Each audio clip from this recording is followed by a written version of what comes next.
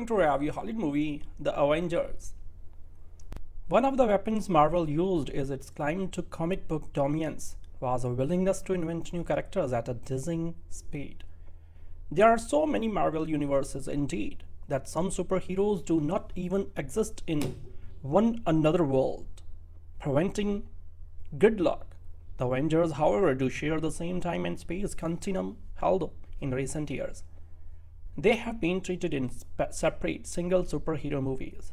One assumes the idle Avengers follow the exploits of the employed ones on the news. The Avengers, much awaited by Marvel comic fans, assembles all of the Avengers in one film Iron Man, Captain America, Thor, the Hulk, the Black Widow, and Hawkeye. So this is like an all-star game, or the chef, chef's sampling menu at a fancy restaurant. So what always strikes me in how different their superpowers are. Iron Man is just an ordinary guy until he's wearing his super suit. Thor swings a mighty hammer. Hawkeye wields a bow with arrows so powerful they can bring down aliens spacecraft. So the Hulk is a mild mannered guy until he gets angry. And then he expands into a leaping, bounding green muscle man who can rip apart pretty much anything. So Captain America has a powerful and versatile shield. Then there's Natasha, aka the Black Widow. So after seeing the film I discussed her with movie critics from Brazil and India, and we were unable to come up with a satisfactory explanation for her superpowers. It seems she is merely a martial artist with good aim with weapons. So we decided maybe she and Hawkeye aren't technically superheroes but just hang out in the same crowd. Sorry. So when I see these six together, I can't help thinking of the champion at the Westminster Dog Show. Do you have breeds that seem completely different for one another and yet they are all champions? The reason they are brought together in the Avengers is that the Earth is under threat by the smirking Loki, Thor's adopted brother, who controls the Tesseract, a pulsing cube of energy that opens a gateway to the universe through it. So he plans to attack Earth with the, his fleet of reptile-looking monster machines. It goes completely unexplained where Loki now resides, how these dragon machines are manufactured, and so on both Loki and Thor are obscurely related to the gods of Norse mythology, as we know from the last year's Thor. But let's not drift into the theology. Nick Fury sends out a call to the Avengers to team up and meet this threat. He runs SHIELD, the Strategic Homeland Intervention, Enforcement and Logistic Division, so which is all I know about it. He's headquartered on a gigantic aircraft carrier that's also a hovercraft and can become invisible. So by bringing the Avengers together, he of course reopens ancient rivalries until they learn the benefits of teamwork. So which is discussed in speeches of noble banality. So you see this is sort of an educational film, teaching the Avengers to do what was so highly valued on my first grade report card, the concept of working well with others. So these films are all more or less similar and Avengers gives us much, much more of the same. There must be a threat. The heroes must be enlisted. The villain must be dramatized. So some personality defects are probed. And then the last R also consists of special effects in which large mechanical objects engage in some combat that results in deafening crashes and explosions and great balls of fire. So much of this battle takes place in Milltown, Midtown Manhattan, where the neatest sequences involve Loki's enormous slithering, undulating snake lizard dragon machine, which seems almost to have a mind of its own is backed up by countless snakelings. So at one point, an Avenger flies into the mouth of this Leviathan and penetrates its entire length, emerging at the business end. You won't see that in the human centipede. Comic Con nerds will have multiple orgasms. So credit David Edelstein in New York Magazine confirming something I had vaguely suspected about them. If he is correct, it's time for desperately needed movies to re-educate nerds in the joys of something. So The Avengers is done well by Joss Whedon with style and energy. It provides its fans with exactly what they desire. Whether it is exactly what they deserve is arguable.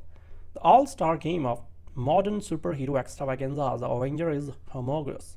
The film Marvel and its legions of fans have been waiting for. Sorry. So it's hard to imagine that anyone with an appetite for the trademark's patented brand of fantasy effects mayhem and strangely dressed he-men will be disappointed. So not only does this eye-popping 3D display of visual effects fireworks feature an enormously high proportions of action scenes, but director Joss Whedon has adroitly balanced the celebrity circus to give every single one of the superstar characters his or her due. Worldwide box office returns will be in a word marvelous. During the past several years, Marvel has, with accelerated speed, expanded its cinematic repertoire of over-muscled, generally double-identity heroes, not otherwise encumbered by exclusive contrasts with other studio, most notably the Hulk, Iron Man, Thor, and Captain America to arrive at the point where this summit meeting of superhuman good guy could be assembled. So after this, the characters will go their separate ways. Iron Man 3 starts shooting next, with second chapter of Thor and Captain America set to roll within the air. So before gathering again, before too many movies summers pass. So with the bundle, this one will make. The pressure will be on wake. It happens sooner rather than later. So as creatively variable and predictably formalic as the Marvel films have been, this one will not only make the core geek audience feel like it's died and gone to Asgard but has so much going for it that many non-fans will be disarmed and charmed. So this is effects driven, mass appeal, summer fear par excellence, that sought after rare bird that hits all the quadrants as marketing mavens likes to say. As enormous as the production is though, the appeal of the ensemble cast makes a crucial difference. You get enough but not too much of each of them. And they all get multiple scenes to themselves to shine. To boil down the particulars of this latest attempt to bring ruin to all we hold dear, sinister Thor villain Loki has gained possession of the Tesseract, an all-powerful substance contained in an opaque cube that not only provides ultimate sustainable energy but a portal to outer space and burdened with glorious purpose. Loki purrs while taunting eye-patched shield master Samuel L. Jackson with the promised arrival of his army of outer space warriors. Sorry.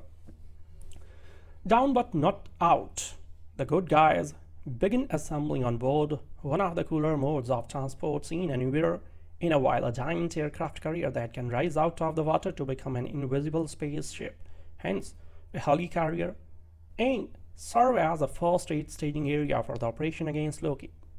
So among those arriving on board are Bruce Banner, otherwise known as the Hulk, the third actor after Eric Bana and Edward Norton, to give the Green Giant a big screen go. Natasha Romanoff, Black Widow, a slutty, scarlet-haired assassin, first seen turning the tables on nasty interrogators despite being strapped to a chair. Thor, Loki's long-locked brother and bearer of the universe's mightiest hammer, and Mr. Old School himself, Steve Rogers, aka Captain America, World War II hero, who's not quite up to speed on all the latest super technology but carries an impenetrable shield. For his part, Robert Downey Jr. as Tony Stark, better known as Iron Man, joins incipient girlfriend Pepper for a brief tete-a-tete before beginning to lend his special expertise to the cause. Sorry. Although they really should be saving their energy for the battle against Loki and his minions, the Avengers team can't resist getting into it with each other from time to time. The one could say that this is just gratuitous time killing, but it could as persuasively be argued that watching the Hulk duke it out with Thor for bragging rights as to who's tougher is what such a film is all about. At least there is nothing perf- perfunctory about it. As there is when superheroes routinely dispatch aliens and enemies who exist just to get blown away. The friction between Iron Man and Captain America, for example, is all about style and attitude. The former is far too irreverent and glib far for the later, for whom patriotism and coming to the rescue are not laughing matters. So with only one feature directorial credit to his name, the middling 2005 sci-fi Serenity. Whedon of Buffy fame would not have been the first name on most people's list to tame a potentially unwielding project. But from a logistical point of view alone, he imposes a grip on the material that feels like that of a benevolent general, marshalling myriad technical resources, while even more impressively juggling eight major characters, giving them all cool and important things to do. Never, though, does the film stall to dwell on individual characters just to give them screen time. The heroes are almost always going doing something that relates to the challenge at hand. Even when the impudent Loki is held prisoner in seemingly inescapable circumstances, there is still forward movement, which crests and then crashes with tsunami force near Grand Central Station in Manhattan. Uncountable numbers of alien warriors arrive from the skies accompanied by strikingly designed metal leviathans that undulate like skeleton monsters of the deep as they cruise over next New York seeking targets. So in this titanic battle, which occupies most of the film's final half hour, all the Marvel heroes' talents are put to the test, in addition to Iron Man, Iron Man making a quick trip to outer space to deal with an incoming missile. So Special Agent Clint Barton or Hawkeye is so good with a high-tech and arrow that you imagine they will have to dragoon Katniss Everdeen into the sequel as a square guest star just to see who's better. For his part, Jackson's Nick Fury has his hands full restraining army generals from nuking the Big Apple in order to off the aliens. So it's calamorous. The Save the World story is one everyone's seen time, eh? Again, and the characters have been around for more than half a century in 500 comic book issues. But Whedon and his cohorts have managed to stir all the personalities and ingredients together so that the resulting dish, however familiar, is irresistibly tasty again. A quick coda reveals to well-versed fans and least who the new adversary in the next installment will be, underlining a reality as absolute as the turning of Earth. Especially after this, Marvel movies will go on and on and on. Developed in 1963 as Marvel's answer to DC's superhero team Justice League, the Avengers applies a comic tradition where numerous superheroes join forces against a common or superior enemy, but not without facing off against each other first. Naturally, superheroes have bold personalities, they are champions of their particular realm, why shouldn't this world with pride about it? But when assembled, such personalities clash and infighting occurs, and our favorite heroes must inevitably learn to work as a team before they can tackle the colossal threat that brought them together. Another comic tradition is the crossover, where an overarching storyline unfurls in the pages of multiple issues and usually ends in the double-sized, chromium or covered mega book to conclude the storyline. The Avengers is the equivalent of this, but not without planting the seeds for future sequels and spin-offs. Sorry. Marvel Studios started something wholly unprecedented in 2008 by laying the groundwork for this film in Iron Man, Incredible Hulk, Iron Man 2, Thor, and Captain America the First Avenger. Each individual entry contains tidbits pointing toward this larger film by maintaining a hands-on approach to their productions. So they ensure each entry is strong enough as a standalone feature, but also a key component in a larger whole. So as a result, there's, there comes an expectation that The Avengers being a culmination of several successful blockbusters should be nothing short of epic. It should appeal to both fanboys and those unfamiliar with comics, broadening the storylines established by the preceding films. It should give each character their due and yet not allow a single star to shine too brightly. It should be bigger, louder, smarter, more expensive, and ultimately more entertaining than the other films. So does it succeed? Yes. With these requirements in mind, Marvel hired writer-director Joss Whedon to well helm the Avengers. He is a former comic author in the pages of X-Men. He's garnered a cult following for his TV show Buffy the Vampire Slayer. He directed one modest, modestly successful film with Serenity, an offshoot of his show Firefly, and he is also a resounding comic nerd and generally adored among fanboys. As such, he appreciates the material enough to know what comic fans expect from the film like this. So because it's what he would expect, more importantly, he understands how to make the material universe, adapting it in such a way that general audiences will be able to identify with the central characters without the need to know their off-screen backstory. So what's more, working with a reported budget of $220 million, Whedon has resolved to put every dollar toward wowing his audience with the most satisfying event movie to come out of Hollywood in recent memory. Sorry. So working from an initial draft by Zak Penn, Whedon's script picks up where 2011's Thor and Captain America left off. So banished Asgardian mischief makers Loki forms an alliance with an alien race called the Chitauri, promising them the Tesseract, an energy cube of unlimited power, if the lay ways to Earth so he may rule.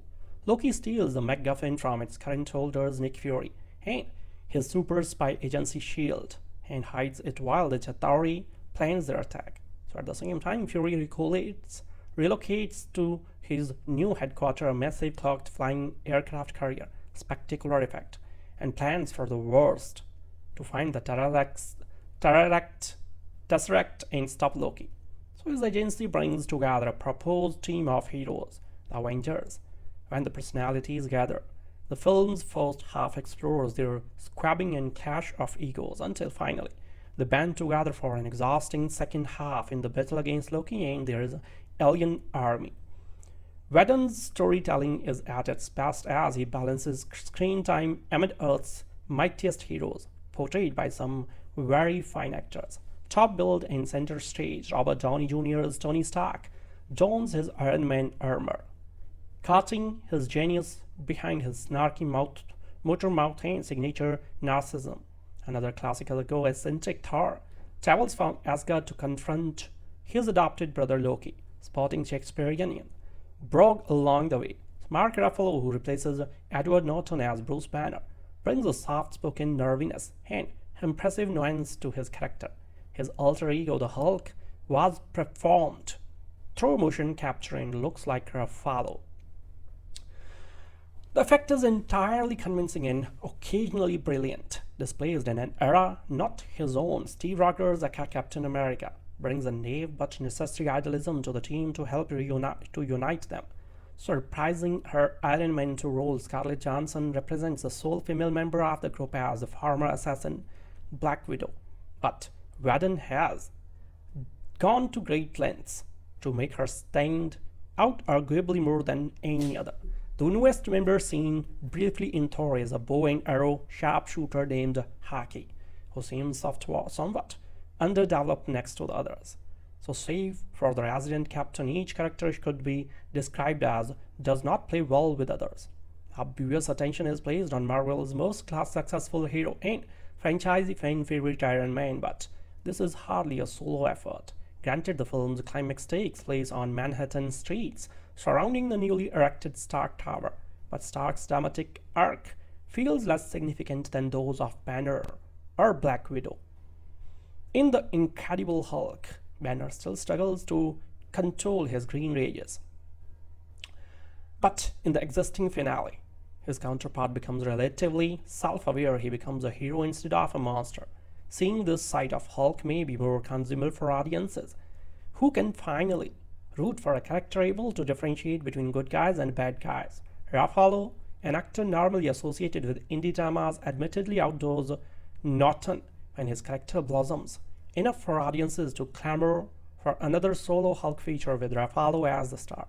Likewise, Haunted, he we learn much more about Johansson, Black Widow, and her blood-soaked past. So her best scene is not only a film best but provides the film's most impressive acting. She interrogates Loki, who responds with jaw-droppingly violent and cruel threats, snarled with precision by Hiddleston. The look of terror on Johansson's face is undeniable and they punctuate it with a wonderful turnaround. So with any comic book film, there are always mild to great disappointments in how the filmmakers have adapted characters from the page to the screen. Some are merely nitpicking on the part of fanboys, others are noticeable by anyone. For example, anyone could tell too many villains clogged up Spider-Man 3, whereas no one outside of a comic book shop cared about Galactus was rendered into a cloud thing in Fantastic Four 2. Here, fanboys can delight in how much Whedon gets right, but in addition to not exploring Hawkeye enough. So Whedon's choice to provide our heroes with a high body count by anonymous Chitauri aliens is questionable. So granted his story infuses elements of the Avengers issue number 1 from 1963 in which Loki manipulates Hulk into a frenzy and in turn unites the Avengers. But in the last half, Whedon's focus remains on Loki orchestrating a war of Chitauri pawns. Of course, this decision makes an effective storytelling device by allowing the Avengers First Assembly to be about an ideal gathering of heroes more than the disposable villains. Still, the comic nerd in me wanted a more recognizable crowd of baddies for our heroes to clobber. However, negligible a disappointment Whedon's choice of alien race may be, he makes up for it in his arrangement of stunning battle sequences, superhero smackdowns, and most importantly, a riotous sense of humor. Early on, Iron Man and Thor go head to head, followed by the two powerhouse characters, Thor and Hulk, throwing each other around. Sorry.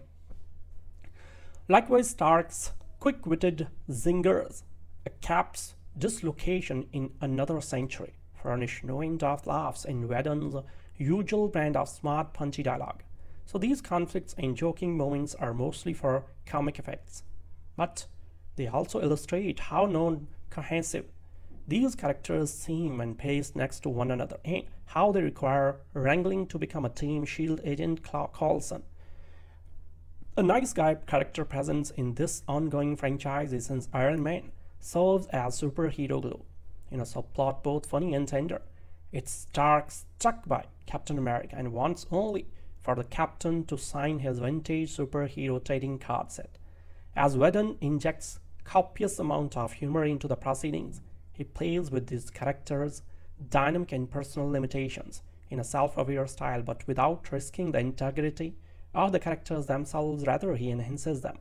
So when it's all over, only one question remains. How will audiences react to solo stories for characters like Iron Man, Thor, Captain America, and the Hulk in the future? A film as grandiose as Avengers threatens to dwarf anything placed next to it. So want next year's Iron Man 3 and Thor to seem underwhelming in comparison. Could Marvel have unwittingly undone their smaller franchises by making too good a film here? My hope is that as long as Marvel continues to distribute the kind of quality superhero films we have come to expect since Iron Man, faithful audiences will return for the next building block, not only in the individual stories but in anticipation of the inevitable sequel to this giant-sized crossover. Marvel should take care and make the best films they can in the coming years. Yeah, they risk turning the in-between movies into nothing more than the next building block to the Avengers. So that's it. You won't likely find a more rousing, purely entertaining popcorn-munching blockbuster this summer. No spectacle on par with this film has arrived in theaters since Avatar, and at the similarly long 142 minutes the film breezes by. On these levels and a plane of sheer superhero movie joy, The Avengers delivers in every aspect. So it's not a flawless film, but its modest flaws are washed away by its incomparable heights of showmanship. that has yet to be matched in this genre. While Christopher Nolan's Batman films elevated the superhero film by achieving an unparalleled dramatic and artistic timbre, Marvel's decidedly more comic booky endeavors find their pinnacle in the Avengers. So just as it should, the film outgoes what have now become its five prequels. So after four years worth of building piece by piece against mounting expectations, Marvel and Whedon mm, have managed to satisfy the majority of fan expectations and in some ways even exceeded them.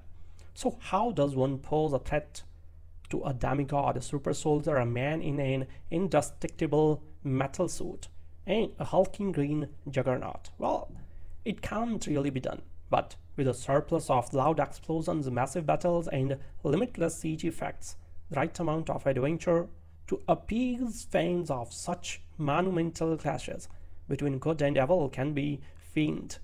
The Avengers keeps the concepts simple enough, but piles on so much mayhem, it can become wearisome to those not previously invested in its subject and willing to really believe in the delirious events transpiring on screen. Viewers not cheering by the time the gang of superheroes take down a giant mechanical space worm probably knew a long time ago this movie wasn't for them as Nick Fury and the agents of the secret military agency SHIELD attempt to harness the power of the extraterrestrial energy source known as the Tesseract.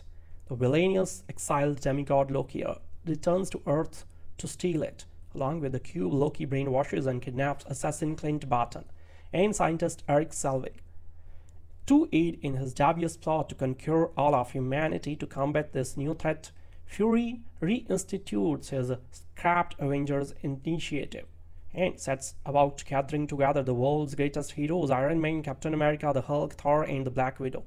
The posing ever grimacing to denote villainy and arsenal of one-liners are at an all-time high in the Avengers, which works to assemble a group of superheroes that constantly compete for screen time, one unmanship and the last laugh. Sorry. The humor is actually overdone, poking fun at all of the characters and situations to the point that audiences will probably question with absurdities they should be taking seriously, and that's detrimental in a film overflowing with fantastical silliness, both visually and from dialogue. It's bad enough that despite gods and alien worlds, extremely advanced technology is still unbelievable, and that jargon like gamma signature thermonuclear quantum fusion and cognitive recalibration sound so ridiculously forced for the sake of convincing viewers that the Avengers instruments are beyond general comprehension. Although it's not quite a sequel, it still only feels appropriate to measure it up for the films like The Transformer 3, Fantastic Four, Rise of the Silver Surfer, Iron Man 2, Superman Returns, and the like. So it's not as mind-numbingly nonsensical as a few of the aforementioned titles, but it doesn't look or feel original. And the abundance of special effects and the overwhelming destruction create non-stop spectacle without substance. Never once is there any real peril that is made upsettingly apparent with the illusion of non-superheroes Black Widow and Hawkeye, who are just too drastically inferior to go up against global catastrophes initiated by intergalactic alien war gods with a complete lack of definition for the various superpowers exhibited by the antagonists and protagonists alike. Their massive demolition of Manhattan and battling one another for the little of toughest superhero means very little. They might as well all be invincible. No villain is formidable enough and no force threatening enough for these cartoonish CG inundated extravagances to be sympathetic. One of the weapons Marvel used is its climb to comic book dominance, was a willingness to invent new characters at a dizzying speed. There are so many Marvel universes indeed, that some superheroes do not even exist in one another world, preventing good luck. The Avengers, however, do share the same time and space continuum held in recent years. They have been treated in separate single superhero movies. One assumes the idle Avengers follow the exploits of the employed ones on the news. The Avengers, much awaited by Marvel comic fans, assembles all of the Avengers in one film Iron Man, Captain America, Thor, the Hulk, the Black Widow, and Hawkeye. So this is like an all-star game or the chef chef's sampling menu at a fancy restaurant. So what always strikes me in how different their superpowers are. Iron Man is just an ordinary guy until he's wearing his super suit. Thor swings a mighty hammer. Hawkeye wields a bow with arrows so powerful they can bring down aliens spacecraft. So the Hulk is a mild mannered guy until he gets angry. And then he expands into a leaping, bounding green muscle man who can rip apart pretty much anything. So Captain America has a powerful and versatile shield. Then there's Natasha, aka the Black Widow. So after seeing the film I discussed her with movie critics from Brazil and India, and we were unable to come up with a satisfactory explanation for her superpowers. It seems she is merely a martial artist with good aim with weapons. So we decided maybe she and Hawkeye aren't technically superheroes but just hang out in the same crowd. Sorry. So when I see these six together, I can't help thinking of the champion at the Westminster Dog Show. Do you have breeds that seem completely different for one another and yet they are all champions? The reason they are brought together in the Avengers is that the Earth is under threat by the smirking Loki, Thor's adopted brother, who controls the Tesseract, a pulsing cube of energy that opens a gateway to the universe through it. So he plans to attack Earth with the, his fleet of reptile-looking monster machines. It goes completely unexplained where Loki now resides, how these dragon machines are manufactured, and so on both Loki and Thor are obscurely related to the gods of Norse mythology, as we know from the last year's Thor. But let's not drift into the theology. Nick Fury sends out a call to the Avengers to team up and meet this threat. He runs SHIELD, the Strategic Homeland Intervention, Enforcement and Logistic Division, so which is all I know about it. He's headquartered on a gigantic aircraft carrier that's also a hovercraft and can become invisible. So by bringing the Avengers together, he of course reopens ancient rivalries until they learn the benefits of teamwork. So which is discussed in speeches of noble banality. So you see this is sort of an educational film, teaching the Avengers to do what was so highly valued on my first grade report card, the concept of working well with others. So these films are all more or less similar, and the Avengers gives us much, much more of the same. There must be a threat, the heroes must be enlisted. The villain must be dramatized. So some personality defects are probed. And then the last R also consists of special effects in which large mechanical objects engage in some combat that results in deafening crashes and explosions and great balls of fire. So much of this battle takes place in Midtown, Midtown Manhattan, where the neatest sequences involve Loki's enormous slithering undulating snake laser dragon machine, which seems almost to have a mind of its own and is backed up by countless snakelings. So at one point, an Avenger flies into the mouth of this Leviathan and penetrates its entire length, emerging at the business end. You won't see that in the human centipede. Comic Con nerds will have multiple orgasms, so predictors credit David Edelstein in New York Magazine confirming something I had vaguely suspected about them. If he is correct, it's time for desperately needed movies to re-educate nerds in the joys of something. So The Avengers is done well by Joss Whedon with style and energy. It provides its fans with exactly what they desire. Whether it is exactly what they deserve is arguable. The all-star game of modern superhero extravaganza, The Avenger is homogeneous. The film Marvel and its legions of fans have been waiting for. Sorry. So it's hard to imagine that anyone with an appetite for the trademark's patented brand of fantasy effects mayhem and strangely dressed he-men will be disappointed. So not only does this eye-popping 3D display of visual effects fireworks feature an enormously high proportions of action scenes, but director Joss Whedon has adroitly balanced the celebrity circus to give every single one of the superstar characters his or her due. Worldwide box office returns will be in a word marvelous. During the past several years, Marvel has, with accelerated speed, expanded its cinematic repertoire of over-muscled, generally double identite heroes, not otherwise encumbered by exclusive contrasts with other studio, most notably the Hulk, Iron Man, Thor, and Captain America to arrive at the point where this summit meeting of superhuman good guy could be assembled. So after this, the characters will go their separate ways. Iron Man 3 starts shooting next, with second chapter of Thor and Captain America set to roll within the air. So before gathering again, before too many movies summers pass. So with the bundle, this one will make. The pressure will be on wake. It happens sooner rather than later. So as creatively variable and predictably formalic as the Marvel films have been, this one will not only make the core geek audience feel like it's died and gone to Asgard but has so much going for it that many non-fans will be disarmed and charmed. So this is effects driven, mass appeal, summer fear par excellence, that sought after rare bird that hits all the quadrants as marketing mavens likes to say. As enormous as the production is though, the appeal of the ensemble cast makes a crucial difference. You get enough but not too much of each of them. And they all get multiple scenes to themselves to shine.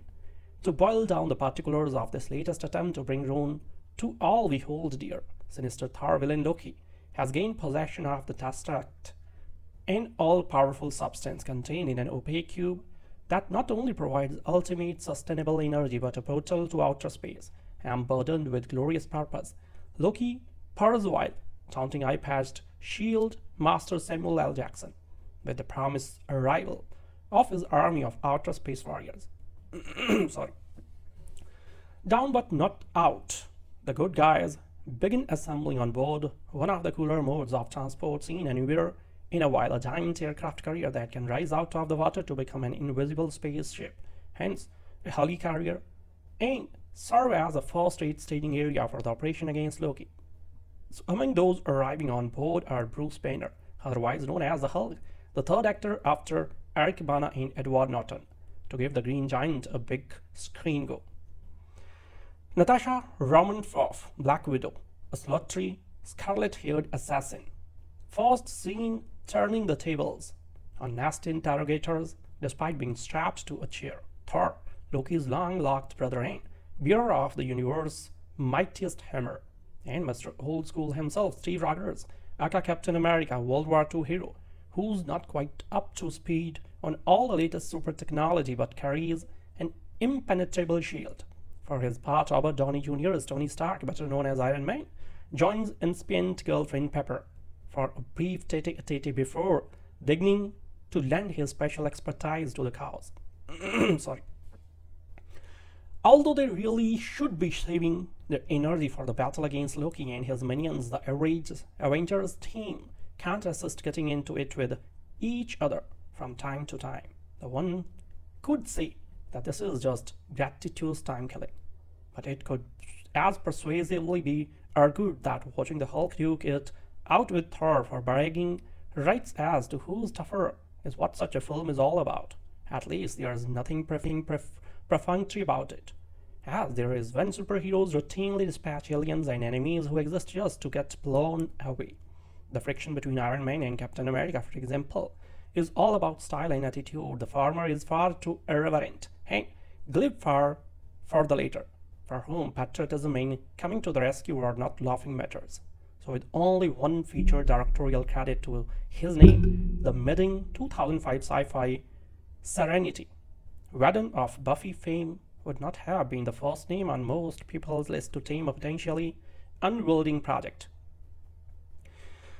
But from a logistical point of view alone, he imposes a grip on the material that feels like that of a benevolent general, marshalling myriad technical resources, while even more impressively juggling eight major characters, giving them all cool and important things to do.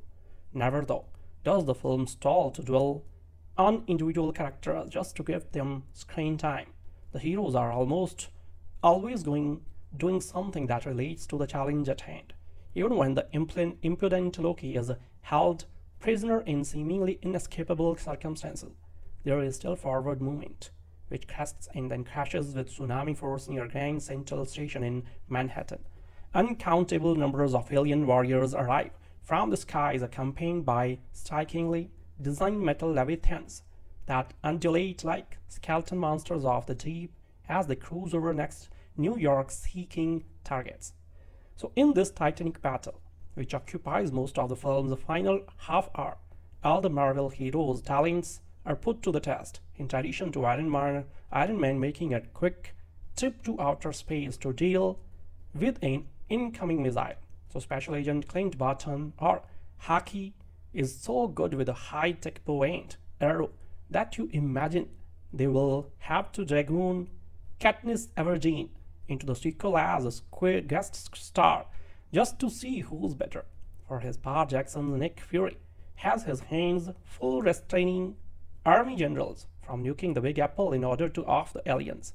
So it's calamitous.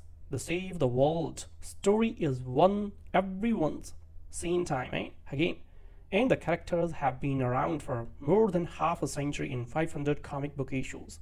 But Whedon and his cohorts have managed to stir all the personalities and ingredients together so that the resulting dish, however familiar, is irresistibly tasty again. A quick coda reveals to well-versed fans and least who the new adversary in the next installment will be, underlining a reality as absolute as the turning of Earth especially after this. Marvel movies will go on and on and on. Developed in 1963 as Marvel's answer to DC's superhero team Justice League, the Avengers supplies a comic tradition where numerous superheroes join forces against a common or superior enemy, but not without facing off against each other first. Naturally, superheroes have bold personalities, they are champions of their particular realm. Why shouldn't this world the pride about it? but when assembled, such personalities clash and infighting occurs, and our favorite heroes must inevitably learn to work as a team before they can tackle the colossal threat that brought them together. Another comic tradition is the crossover, where an overarching storyline unfurls in the pages of multiple issues and usually ends in the double-sized, chromium or covered mega book to conclude the storyline. The Avengers is the equivalent of this, but not without planting the seeds for future sequels and spin-offs. sorry. Marvel Studios started something wholly unprecedented in 2008 by laying the groundwork for this film in Iron Man, Incredible Hulk, Iron Man 2, Thor, and Captain America the First Avenger. Each individual entry contains tidbits pointing toward this larger film by maintaining a hands-on approach to their productions. So they ensure each entry is strong enough as a standalone feature, but also a key component in a larger whole. So as a result, there is there comes an expectation that the Avengers being a culmination of several successful blockbusters should be nothing short of epic. It should appeal to both fanboys and those unfamiliar with comics, broadening the storylines established by the preceding films. It should give each character their due and yet not allow a single star to shine too brightly. It should be bigger, louder, smarter, more expensive, and ultimately more entertaining than the other films. So does it succeed? Yes. With these requirements in mind, Marvel hired writer-director Joss Whedon to well helm the Avengers. He's a former comic author in the pages of X-Men. He's garnered a cult following for his TV show Buffy the Vampire Slayer. He directed one modest, modestly successful film with Serenity, an offshoot of his show Firefly and he's also a resounding comic nerd and generally adorned among fanboys. As such, he appreciates material enough to know what comic fans expect from the film like this.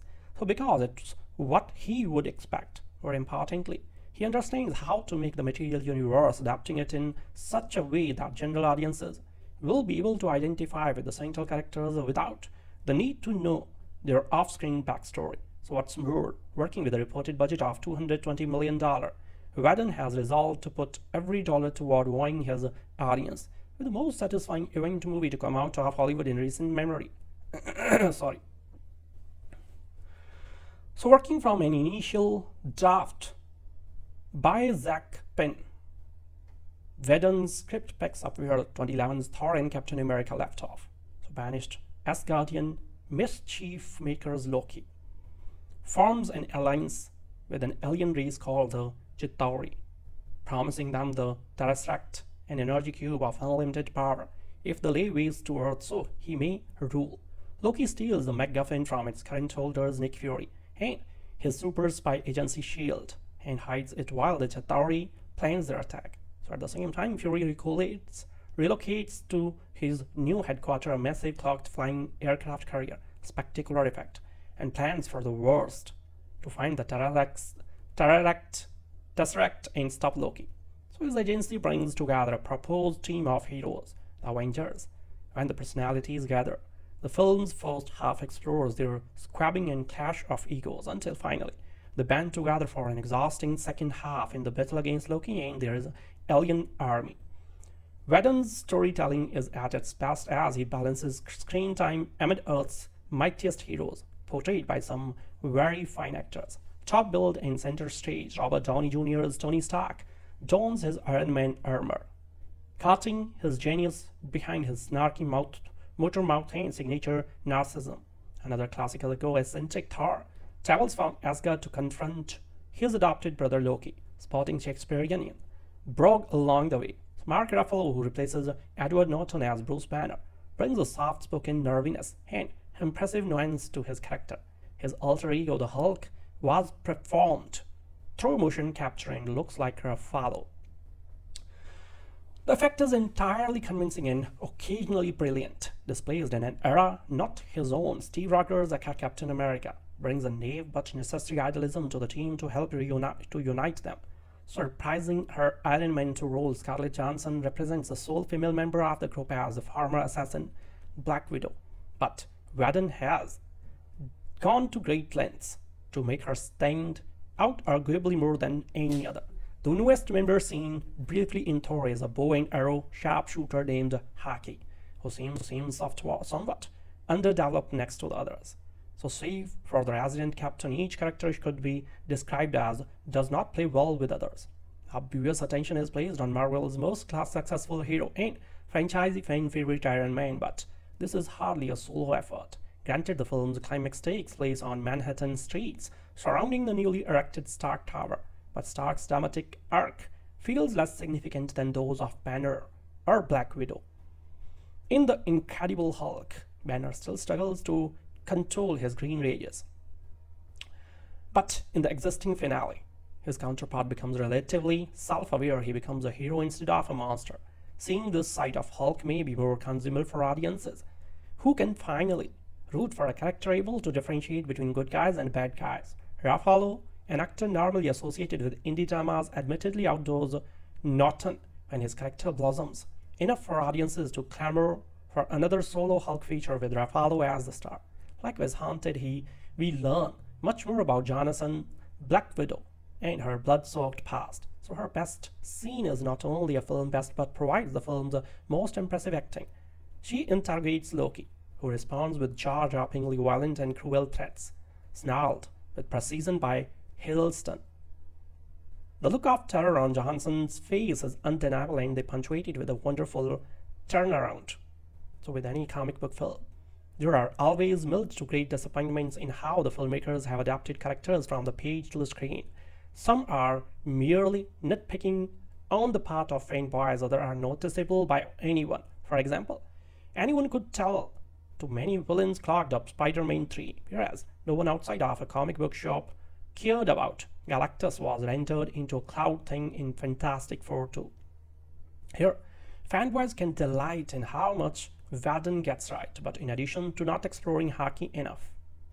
So Whedon's choice to provide our heroes with a high body count by anonymous Chitauri aliens is questionable.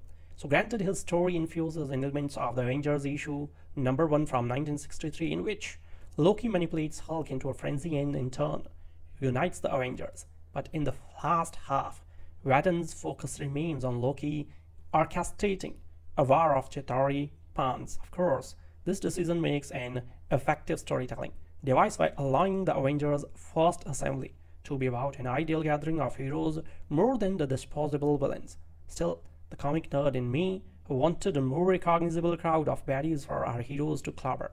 However, negligible a disappointment to Whedon's choice of alien race may be, he makes up for it in his arrangement of stunning battle sequences, superhero smackdowns, and most importantly, a riotous sense of humor. Early on, Iron Man and Thor go head to head, followed by the two powerhouse characters, Thor and Hulk, throwing each other around. Sorry. Likewise, Stark's quick-witted zingers, a Cap's dislocation in another century, furnish knowing of laughs in Whedon's usual brand of smart, punchy dialogue. So these conflicts and joking moments are mostly for comic effects, but they also illustrate how non-cohesive these characters seem and pace next to one another and how they require wrangling to become a team SHIELD agent Coulson. A nice guy character presence in this ongoing franchise is since Iron Man serves as superhero glue in a subplot both funny and tender. It's Stark struck by Captain America and wants only for the captain to sign his vintage superhero trading card set. As Whedon injects copious amount of humor into the proceedings, he plays with these characters' dynamic and personal limitations in a self-aware style, but without risking the integrity of the characters themselves, rather he enhances them. So when it's all over, only one question remains. How will audiences react to solo stories for characters like Iron Man, Thor, Captain America, and the Hulk in the future? A film as grandiose as Avengers threatens to dwarf anything placed next to it. So won't next year's Iron Man 3 and Thor 2 seem underwhelming in comparison? Could Marvel have unwittingly undone their smaller franchises by making too good a film here? My hope is that as long as Marvel continues to distribute the kind of quality superhero films we have come to expect since Iron Man, faithful audiences will return for the next building block, not only in the individual stories but in anticipation of the inevitable sequel to this giant-sized crossover. Marvel should take care and make the best films they can in the coming years. Yeah, they risk turning the in-between movies into nothing more than the next building block to the Avengers. So that's it. You won't likely find a more rousing, purely entertaining popcorn-munching blockbuster this summer. No spectacle on with this film has arrived in theaters since Avatar, and at the similarly long 142 minutes the film breezes by. On these levels and a plane of sheer superhero movie joy, The Avengers delivers in every respect.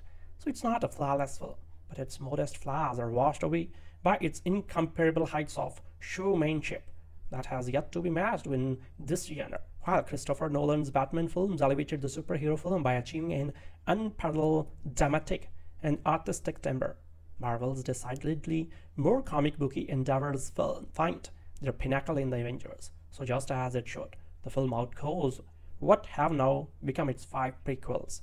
So after four years worth of building piece by piece against mounting expectations, Marvel and Whedon have managed to satisfy the majority of fan expectations and in some ways even exceeded them. So how does one pose a threat to a demigod, a super soldier, a man in an indestructible metal suit? And a hulking green juggernaut. Well, it can't really be done, but with a surplus of loud explosions, massive battles, and limitless CG effects, the right amount of adventure to appease fans of such monumental clashes between good and evil can be feigned. The Avengers keeps the concepts simple enough, but piles on so much mayhem, it can become wearisome to those not previously invested in its subject and willing to really believe in the delirious events transpiring on screen. Viewers not cheering by the time the gang of superheroes take down a giant mechanical space worm probably knew a long time ago this movie wasn't for them, as Nick Fury and the agents of the secret military agency SHIELD attempt to harness the power of the extraterrestrial energy source known as the Tesseract. The villainous exiled demigod Loki returns to Earth to steal it. Along with the cube, Loki brainwashes and kidnaps assassin Clint Barton and scientist Erik Selvig to aid in his devious plot to conquer all of humanity to combat this new threat. Fury reinstitutes his scrapped Avengers initiative and sets about gathering together the world's greatest heroes Iron Man, Captain America, the Hulk, Thor, and the Black Widow. The posing grimacing to denote villainy and arsenal of one-liners are at an all-time high in the Avengers, which works to assemble a group of superheroes that constantly compete for screen time, one and unmanship and the last laugh. Sorry. The humor is actually overdone, poking fun at all of the characters and situations to the point that audiences will probably question with absurdities they should be taking seriously, and that's detrimental in a film overflowing with fantastical silliness, both visually and from dialogue. It's bad enough that despite gods and alien worlds, extremely advanced technology is still unbelievable, and that jargon like gamma signature, thermonuclear quantum fusion, and cognitive recalibration sound so ridiculously forced for the sake of convincing viewers that the Avengers instruments are beyond general comprehension. Although it's not quite a sequel, it still only feels appropriate to measure it up for the films like The Transformer 3, Fantastic Four, Rise of the Silver Surfer, Iron Man 2, Superman Returns, and the like. So it's not as mind-numbingly nonsensical as a few of the aforementioned titles, but it doesn't look or feel original and the abundance of special effects and the overwhelming destruction create non-stop spectacle without substance. Never once is there any real peril that is made upsettingly apparent with the illusion of non-superheroes Black Widow and Hawkeye, who are just too drastically inferior to go up against global catastrophes initiated by intergalactic alien war gods, with a complete lack of definition for the various superpowers exhibited by the antagonists and protagonists alike. Their massive demolition of Manhattan and battling one another for the little of toughest superhero means very little. They might as well all be invincible. No villain is formidable enough and no force threatening enough for these cartoonist CG inundated extravagances to be sympathetic. One of the weapons Marvel used is its climb to comic book dominance was a willingness to invent new characters at a dizzying speed. There are so many Marvel universes indeed that some superheroes do not even exist in one another world, preventing good luck. The Avengers, however, do share the same time and space continuum held in recent years. They have been treated in separate single superhero movies. One assumes the idle Avengers follow the exploits of the employed ones on the news. The Avengers, much awaited by Marvel comic fans, assembles all of the Avengers in one film Iron Man, Captain America, Thor, the Hulk, the Black Widow, and Hawkeye. So this is like an all-star game, or the chef, chef's sampling menu at a fancy restaurant. So what always strikes me in how different their superpowers are. Iron Man is just an ordinary guy until he's wearing his super suit. Thor swings a mighty hammer. Hawkeye wields a bow with arrows so powerful they can bring down aliens spacecraft. So the Hulk is a mild mannered guy until he gets angry. And then he expands into a leaping, bounding green muscle man who can rip apart pretty much anything. So Captain America has a powerful and versatile shield. Then there's Natasha, aka the Black Widow. So after seeing the film I discussed her with movie critics from Brazil and India, and we were unable to come up with a satisfactory explanation for her superpowers. It seems she is merely a martial artist with good aim with weapons. So we decided maybe she and Hawkeye aren't technically superheroes but just hang out in the same crowd. sorry so when i see these six together i can't help thinking of the champion at the westminster dog show do you have breeds that seem completely different for one another and yet they are all champions the reason they are brought together in the avengers is that the Earth is under threat by the smirking Loki, Thor's adopted brother, who controls the Tesseract, a pulsing cube of energy that opens a gateway to the universe through it. So he plans to attack Earth with the, his fleet of reptile-looking monster machines. It goes completely unexplained where Loki now resides, how these dragon machines are manufactured, and so on both Loki and Thor are obscurely related to the gods of Norse mythology, as we know from the last year's Thor. But let's not drift into the theology. Nick Fury sends out a call to the Avengers to team up and meet this threat. He runs SHIELD, the Strategic Homeland Intervention, Enforcement and Logistic Division. So which is all I know about it. He's headquartered on a gigantic aircraft carrier that's also a hovercraft and can become invisible. So by bringing the Avengers together, he of course reopens ancient rivalries until they learn the benefits of teamwork. So which is discussed in speeches of noble banality. So you see this is sort of an educational film, teaching the Avengers to do what was so highly valued on my first grade report card, the concept of working well with others. So these films are all more or less similar, and the Avengers gives us much, much more of the same. There must be a threat. The heroes must be enlisted. The villain must be dramatized. So some personality defects are probed. And then the last R also consists of special effects in which large mechanical objects engage in some combat that results in deafening crashes and explosions and great balls of fire. So much of this battle takes place in Midtown, Midtown Manhattan, where the neatest sequences involve Loki's ginormous slithering, undulating snake laser dragon machine, which seems almost to have a mind of its own and is backed up by countless snakelings. So at one point, an Avenger flies into the mouth of this Leviathan and penetrates its entire length, emerging at the business end. You won't see that in the human centipede. Comic Con nerds will have multiple orgasms. So predictors credit David Edelstein in New York Magazine confirming something I had vaguely suspected about them. If he is correct, it's time for desperately needed movies to re-educate nerds in the joys of something. So The Avengers is done well by Joss Whedon with style and energy. It provides its fans with exactly what they desire. Whether it is exactly what they deserve is arguable. The all-star game of modern superhero extravaganza, The Avenger is homogeneous. The film Marvel and its legions of fans have been waiting for. Sorry. So it's hard to imagine that anyone with an appetite for the trademark's patented brand of fantasy effects mayhem and strangely dressed he-men will be disappointed.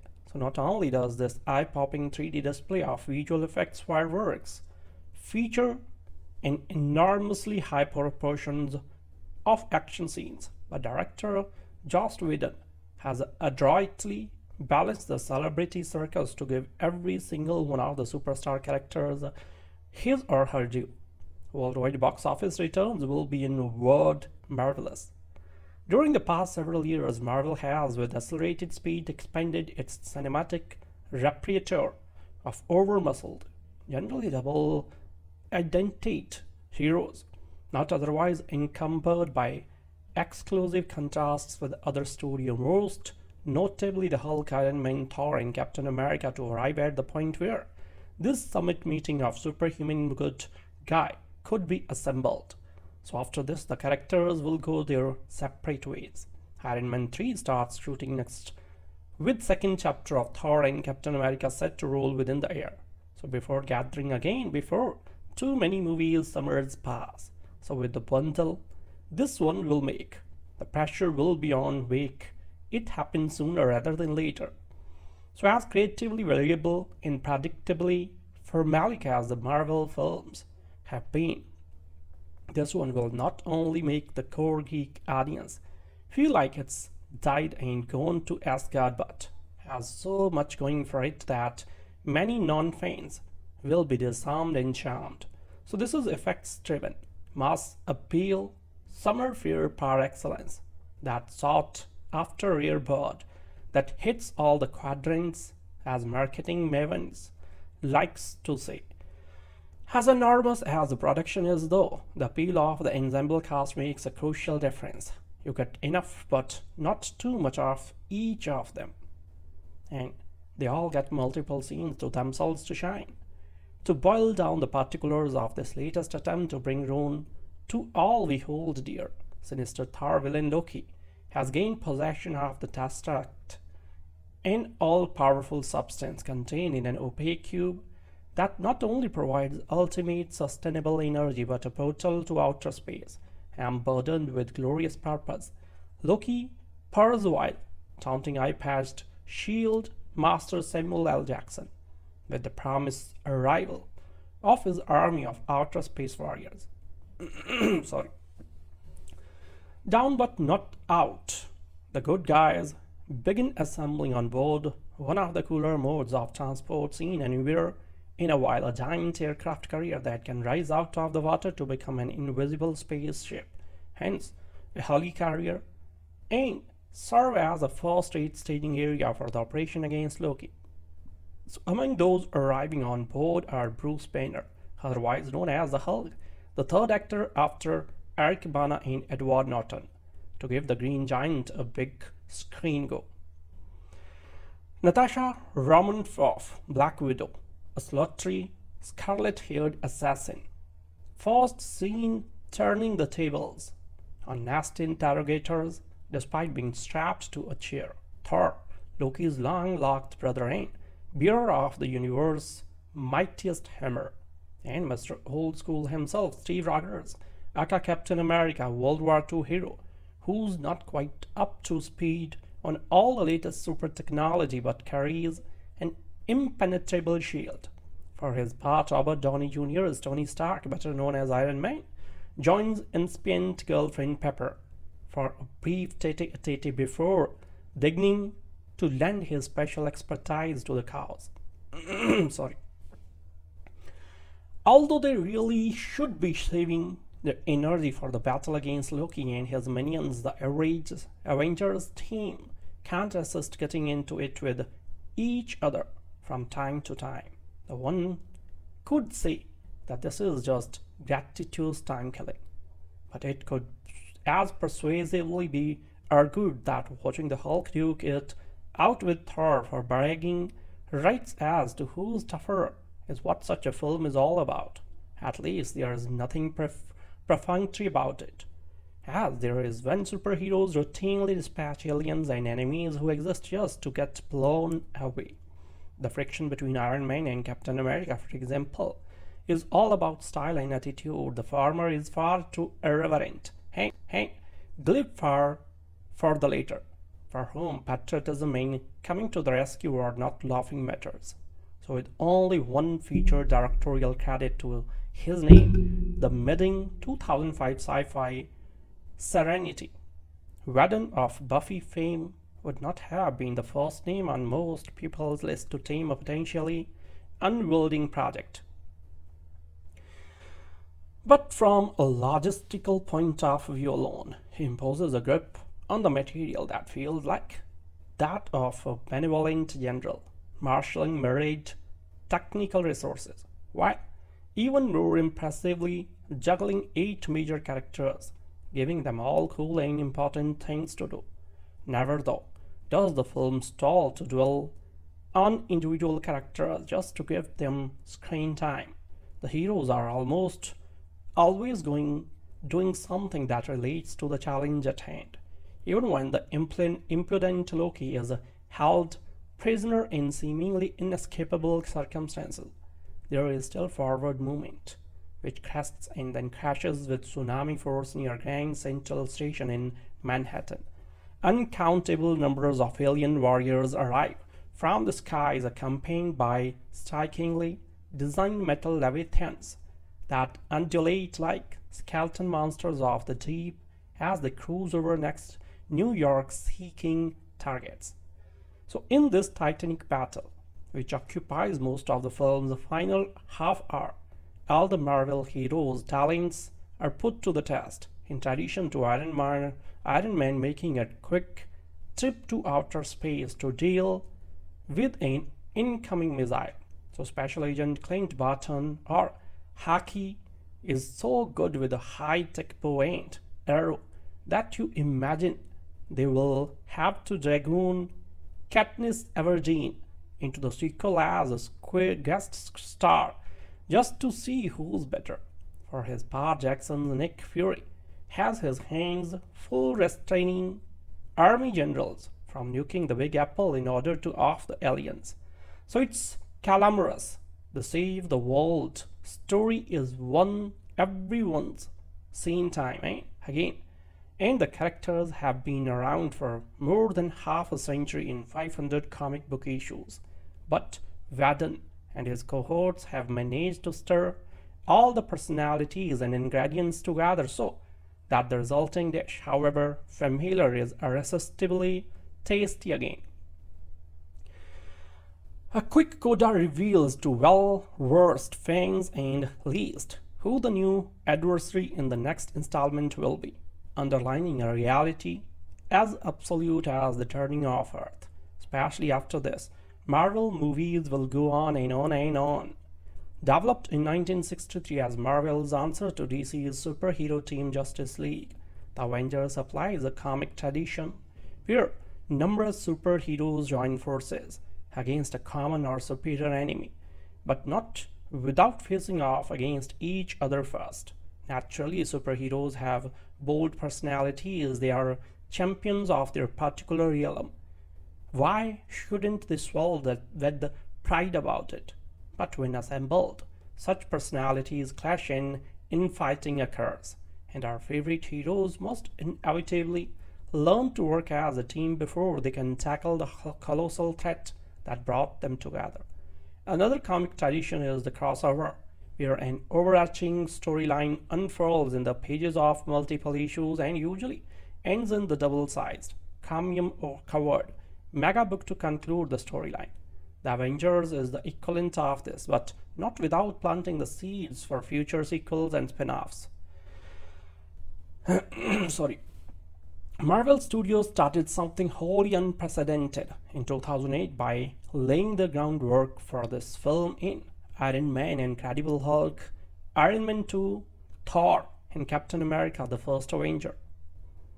Each individual entry contains uh, tidbits pointing toward this larger film by maintaining a hands-on approach to their productions. So they ensure each entry is strong enough as a standalone feature but also a key component in a larger whole. So as a result, there's, there comes an expectation that the Avengers being a culmination of several successful blockbusters should be nothing short of epic. It should appeal to both fanboys and those unfamiliar with comics, broadening the storylines established by the preceding films. It should give each character their due and yet not allow a single star to shine too brightly. It should be bigger, louder, smarter, more expensive, and ultimately more entertaining than the other films. So does it succeed? Yes. With these requirements in mind, Marvel hired writer-director Joss Whedon to well helm the Avengers. He is a former comic author in the pages of X-Men. He's garnered a cult following for his TV show Buffy the Vampire Slayer. He directed one modest modestly successful film with Serenity, an offshoot of his show Firefly, and he is also a resounding comic nerd and generally adored among fanboys.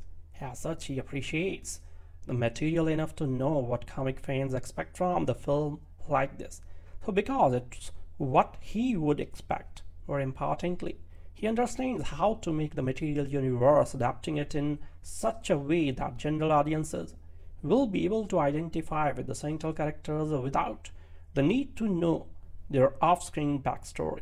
So what's more, working with a reported budget of $220 million, Whedon has resolved to put every dollar toward wowing his audience with the most satisfying event movie to come out of Hollywood in recent memory. Sorry. So working from an initial draft by Zak Penn, Whedon's script picks up where 2011's Thor and Captain America left off. So banished Asgardian mischief makers Loki forms an alliance with an alien race called the Chitauri, promising them the Tesseract, an energy cube of unlimited power, if the lay waste to Earth so he may rule. Loki steals the MacGuffin from its current holders Nick Fury and his super spy agency SHIELD and hides it while the Chitauri plans their attack. At the same time, Fury relocates, relocates to his new headquarters a massive clocked flying aircraft carrier, spectacular effect, and plans for the worst to find the Tesseract, Tesseract and stop Loki. So his agency brings together a proposed team of heroes, the Avengers. When the personalities gather, the film's first half explores their squabbling and clash of egos until finally they band together for an exhausting second half in the battle against Loki and their alien army. Whedon's storytelling is at its best as he balances screen time amid Earth's mightiest heroes, portrayed by some very fine actors. Top billed in center stage, Robert Downey Jr.'s Tony Stark dons his Iron Man armor, cutting his genius behind his snarky mouth, motor mouth and signature narcissism. Another classical ego-eccentric Thor travels from Asgard to confront his adopted brother Loki, spotting Shakespearean brogue along the way. Mark Ruffalo, who replaces Edward Norton as Bruce Banner, brings a soft-spoken nerviness and impressive nuance to his character. His alter ego, the Hulk, was performed through motion capture and looks like Ruffalo. The effect is entirely convincing and occasionally brilliant, displaced in an era not his own. Steve Rogers, aka Captain America, brings a naive but necessary idealism to the team to help reunite, to unite them. Surprising her Iron Man 2 role, Scarlett Johansson represents the sole female member of the group as the former assassin Black Widow.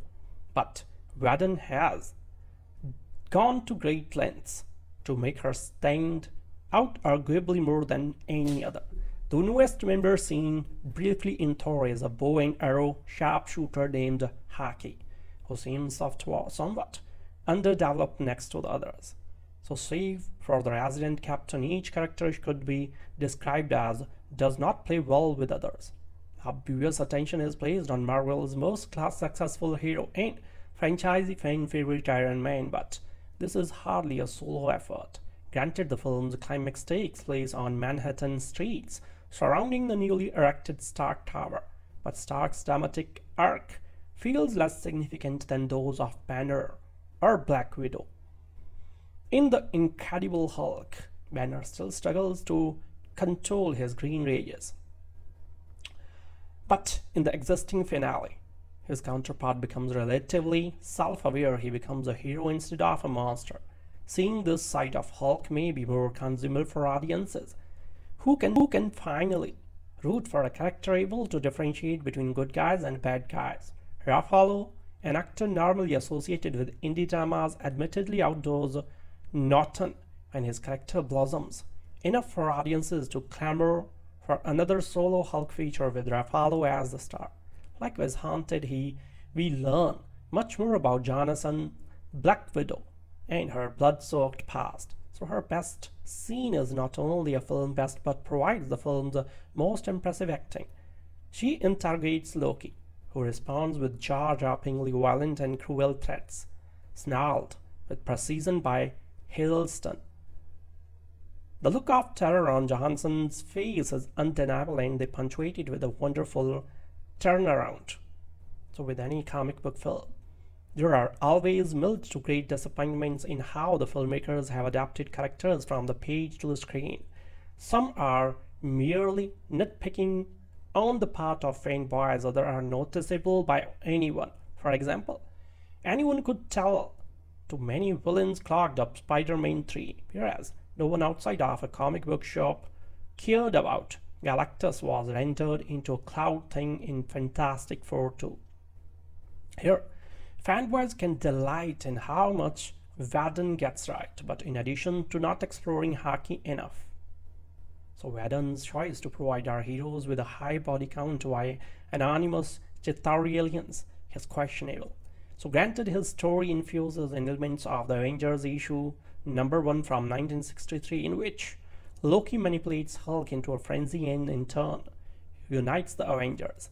But in the last half, Whedon's focus remains on Loki orchestrating a war of Chitauri pawns. Of course, this decision makes an effective storytelling device by allowing the Avengers' first assembly to be about an ideal gathering of heroes more than the disposable villains. Still, the comic nerd in me wanted a more recognizable crowd of baddies for our heroes to clobber. However, negligible a disappointment Whedon's choice of alien race may be, he makes up for it in his arrangement of stunning battle sequences, superhero smackdowns, and most importantly, a riotous sense of humor. Early on, Iron Man and Thor go head to head, followed by the two powerhouse characters, Thor and Hulk, throwing each other around. Sorry. Likewise, Stark's quick-witted zingers, a Cap's dislocation in another century, furnish no end of laughs in Whedon's usual brand of smart, punchy dialogue. So these conflicts and joking moments are mostly for comic effects, but they also illustrate how non-cohesive these characters seem and pace next to one another and how they require wrangling to become a team shield agent Coulson. A nice guy character presence in this ongoing franchise is since Iron Man serves as superhero glue in a subplot both funny and tender. It's Stark struck by Captain America and wants only for the captain to sign his vintage superhero trading card set. As Whedon injects copious amount of humor into the proceedings, he plays with these characters' dynamic and personal limitations in a self-aware style but without risking the integrity of the characters themselves, rather he enhances them. So when it's all over, only one question remains. How will audiences react to solo stories for characters like Iron Man, Thor, Captain America, and the Hulk in the future. A film as grandiose as Avengers threatens to dwarf anything placed next to it. So want next year's Iron Man 3 and Thor to seem underwhelming in comparison. Could Marvel have unwittingly undone their smaller franchises by making too good a film here? My hope is that as long as Marvel continues to distribute the kind of quality superhero films we have come to expect since Iron Man. Faithful audiences will return for the next building block, not only in the individual stories, but in anticipation of the inevitable sequel to this giant-sized crossover. Marvel should take care and make the best films they can in the coming years. Yeah, the risk turning the in-between movies into nothing more than the next building block to the Avengers. So that's it you won't likely find a more rousing, purely entertaining popcorn munching blockbuster this summer. No spectacle on par with this film has arrived in theaters since Avatar, and at the similarly long 142 minutes the film praises by. On these levels and a plane of sheer superhero movie joy, The Avengers delivers in every aspect. So it's not a flawless film, but its modest flaws are washed away by its incomparable heights of showmanship that has yet to be matched in this genre. While Christopher Nolan's Batman films elevated the superhero film by achieving an unparalleled dramatic and artistic timbre, Marvel's decidedly more comic booky endeavors find their pinnacle in the Avengers. So just as it should, the film outgoes what have now become its five prequels. So after four years worth of building piece by piece against mounting expectations, Marvel and Whedon have managed to satisfy the majority of fan expectations and in some ways even exceeded them. So how does one pose a threat to a demigod, a super soldier, a man in an indestructible metal suit, and a hulking green juggernaut? Well, it can't really be done, but with a surplus of loud explosions, massive battles, and limitless CG effects, the right amount of adventure to appease fans of such monumental clashes between good and evil can be feigned. The Avengers keeps the concepts simple enough, but piles on so much mayhem, it can become wearisome to those not previously invested in its subject and willing to really believe in the delirious events transpiring on screen. Viewers not cheering by the time the gang of superheroes take down a giant mechanical space worm probably knew a long time ago this movie wasn't for them.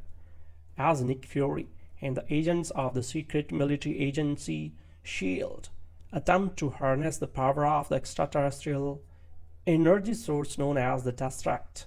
The villainous exiled demigod Loki uh, returns to Earth to steal it.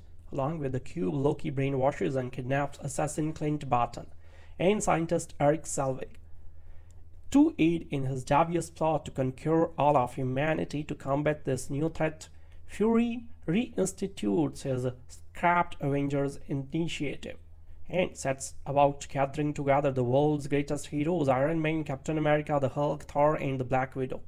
The posing ever grimacing to denote villainy and arsenal of one-liners are at an all-time high in the Avengers, which works to assemble a group of superheroes that constantly compete for screen time. One unmanship and the last laugh. Sorry. The humor is actually overdone, poking fun at all of the characters and situations to the point that audiences will probably question with absurdities they should be taking seriously, and that's detrimental in a film overflowing with fantastical silliness, both visually and from dialogue. It's bad enough that despite gods and alien worlds, extremely advanced technology is still unbelievable, and that jargon like gamma signature thermonuclear quantum fusion and cognitive recalibration sound so ridiculously forced for the sake of convincing viewers that the Avengers instruments are beyond general comprehension. Although it's not quite a sequel, it still only feels appropriate to measure it up for the films like The Transformer 3, Fantastic Four, Rise of the Silver Surfer, Iron Man 2, Superman Returns, and the like. So it's not as mind-numbingly nonsensical as a few of the aforementioned titles, but it doesn't look or feel original. And the abundance of special effects and the overwhelming destruction create non-stop spectacle without substance. Never once is there any real peril that is made upsettingly apparent with the illusion of non-superheroes Black Widow and Hawkeye who are just too drastically inferior to go up against global catastrophes initiated by intergalactic alien war gods, with a complete lack of definition for the various superpowers exhibited by the antagonists and protagonists alike. Their massive demolition of Manhattan and battling one another for the little of toughest superhero means very little. They might as well all be invincible. No villain is formidable enough no force threatening enough for these cartoonist CG inundated extravagances to be sympathetic. One of the weapons Marvel used is its climb to comic book dominance was a willingness to invent new characters at a dizzying speed.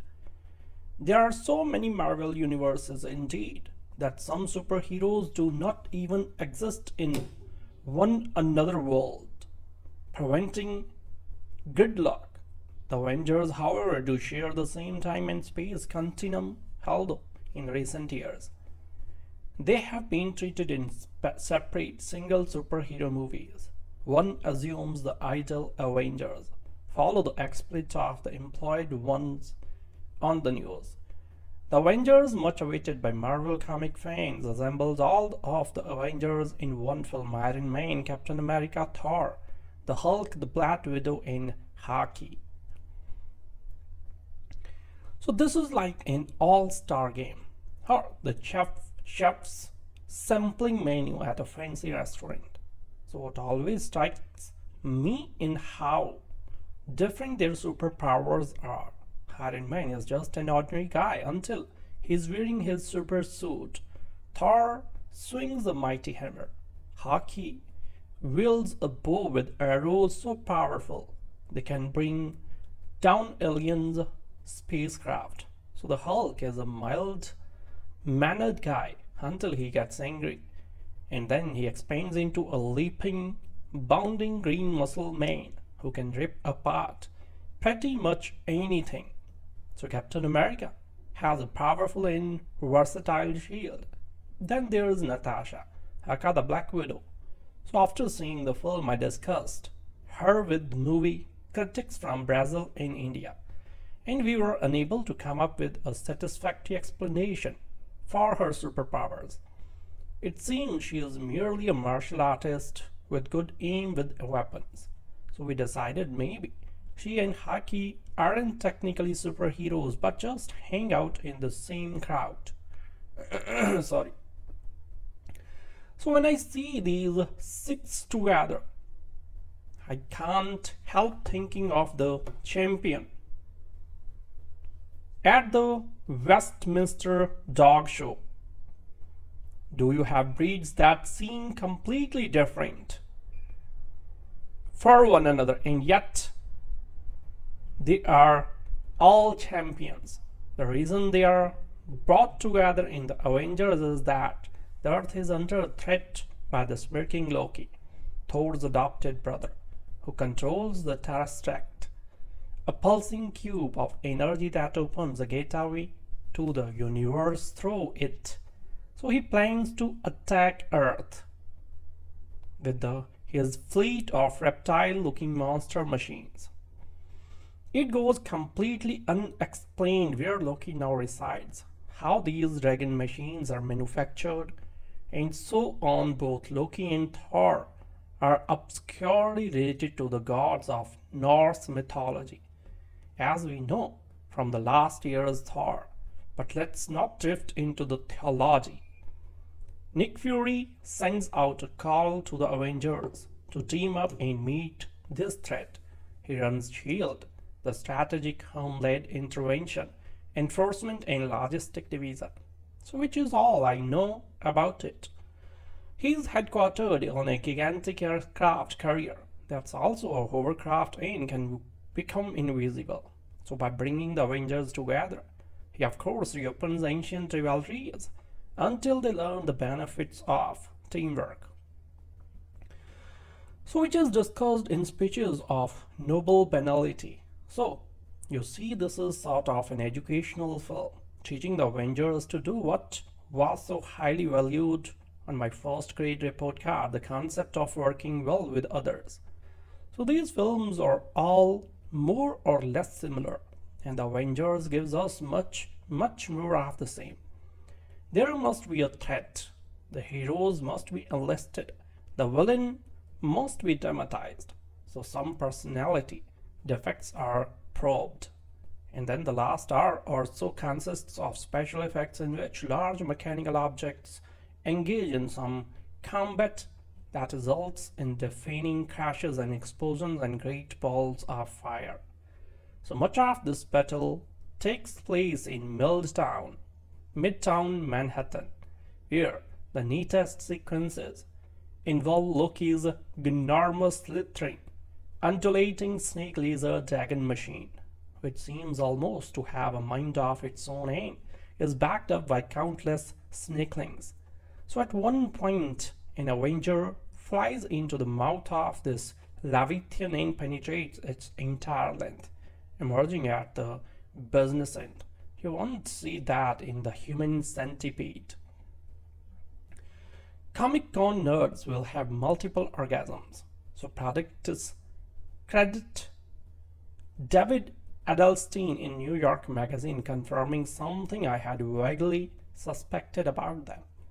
If he is correct, it's time for desperately needed movies to re-educate nerds in the joys of something. So The Avengers is done well by Joss Whedon with style and energy.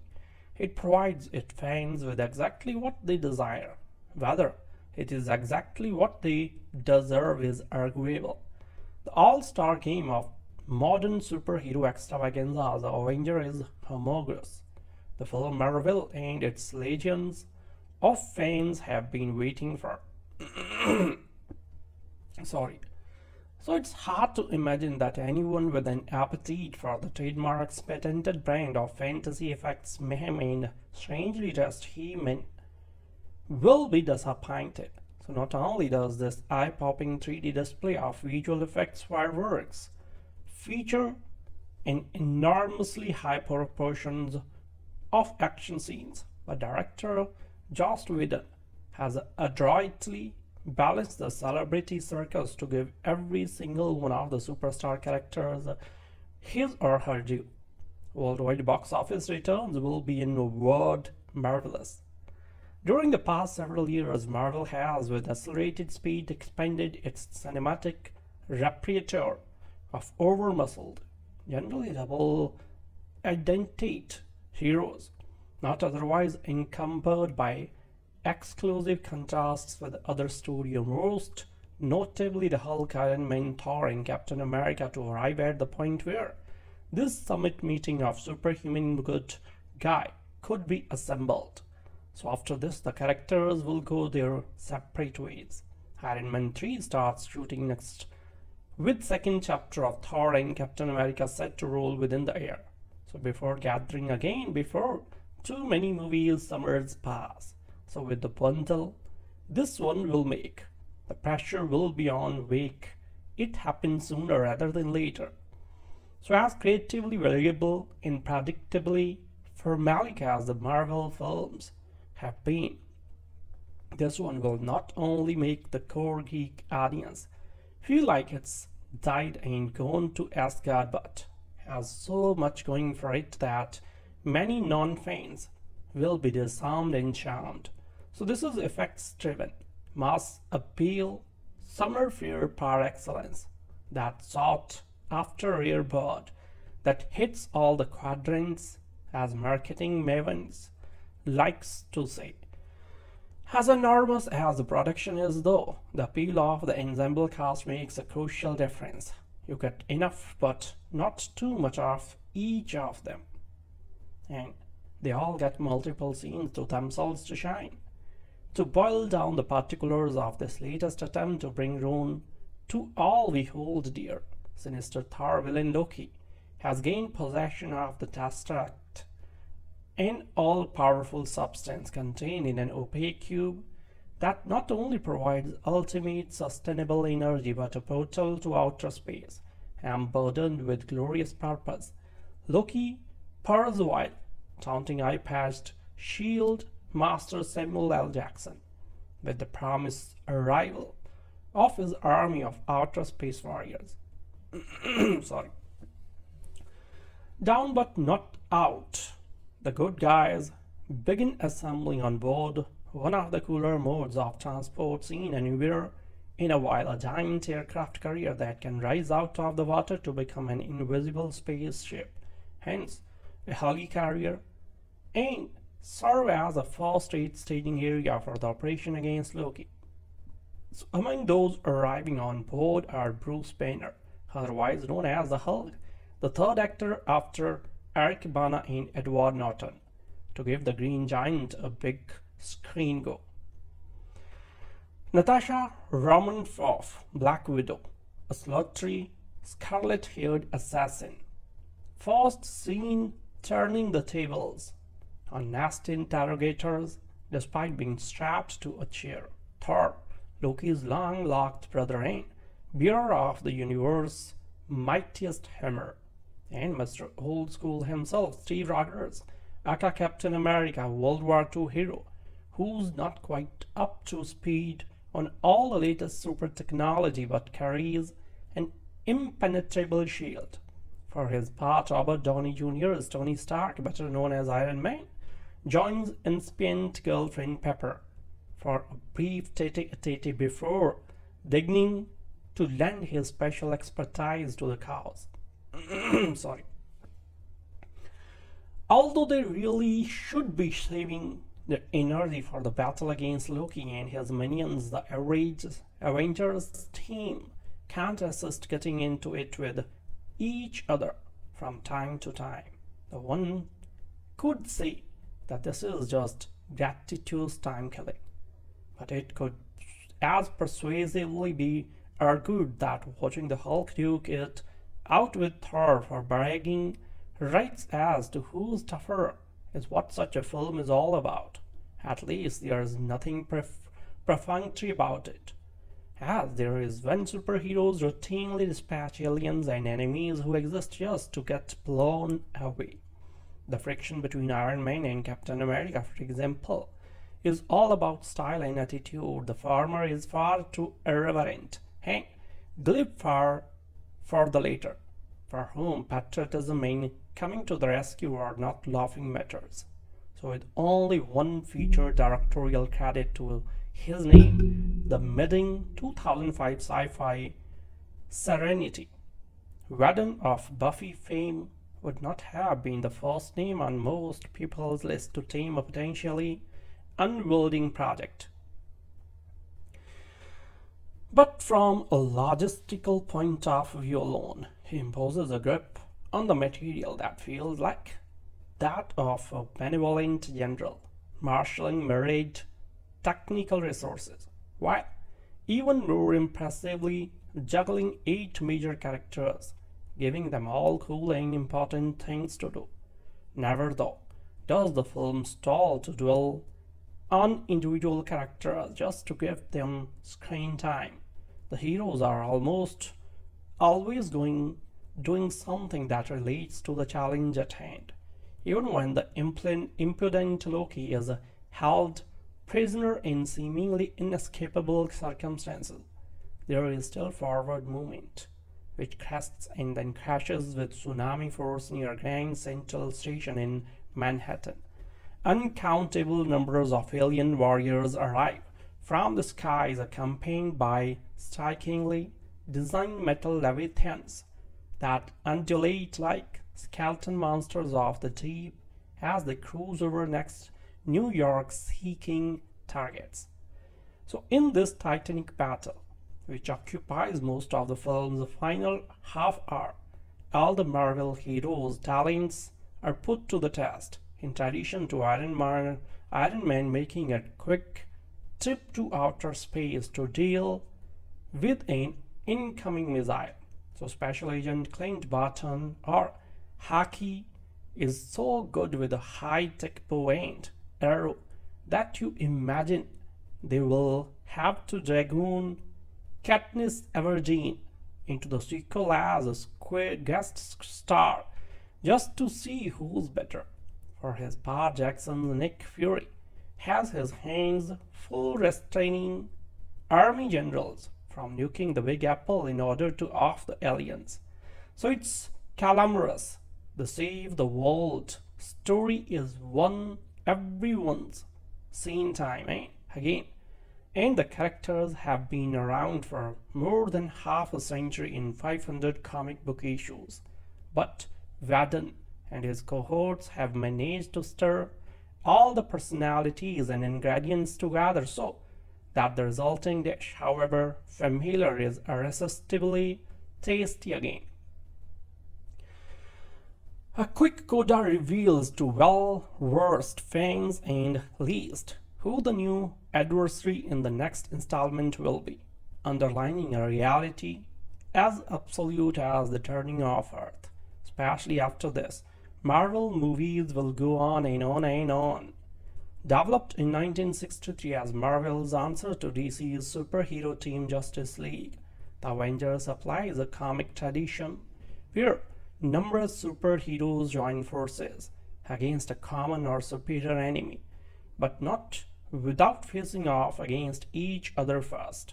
Naturally, superheroes have bold personalities, they are champions of their particular realm why shouldn't they swell that the pride about it?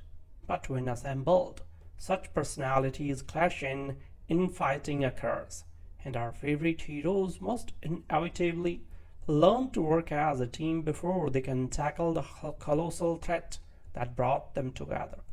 Another comic tradition is the crossover, where an overarching storyline unfurls in the pages of multiple issues and usually ends in the double-sized, chromium or covered mega book to conclude the storyline.